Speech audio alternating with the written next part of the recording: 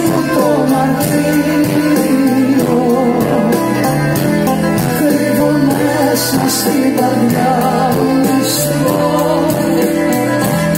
προσευχή στο βράδυ μου σιωπητήριο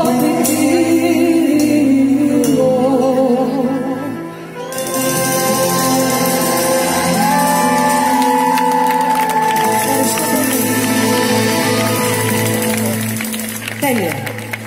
Λοιπόν, νομίζω ότι είναι μια πολύ καλή στιγμή να προσευχηθούμε όλοι.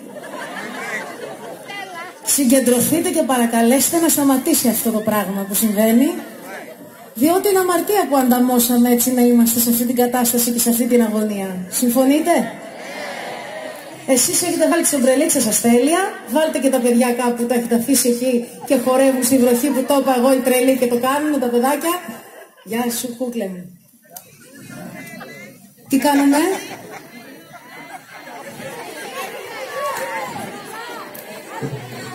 Τι, ε, Συγκεντρωθήκατε;